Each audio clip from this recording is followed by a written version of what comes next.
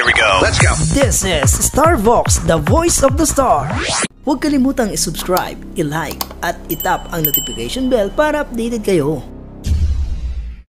Hi guys! Welcome to my vlog at ah, ngayon po ay unang araw ng aming ah, ocular visit para sa summer outing ng Leslie Corporation. At syempre ang unang pinuntahan po natin ang Sunrise Cove dito sa Calatagan, Batangas. At ah, nakasama natin sa ating ah, pagbisita sina BP Anselmo Oliver, Kuya Jerry Francisco at ah, si Gian. Ganon din, nakasama rin natin ang ah, ating dalawang HR ng Paranaque, si Ma'am ah, RA at si Sir Dave. Yan, pupuntahan po namin ngayon at tutunguhin ang ah, Sunrise Cove. Yan po, papasok na po kami. Pagpasok po namin sa area ay ah, aming napansin na medyo maliit po yung area kaya parang hindi kakayanin ang ah, 550 katao.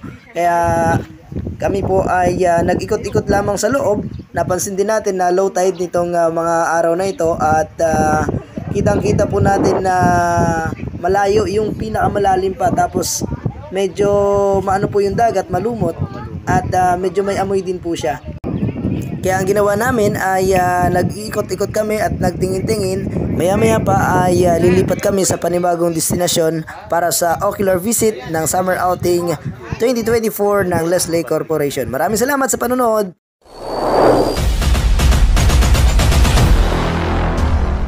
Huwag kalimutang i-subscribe, i-like at itap ang notification bell para updated kayo.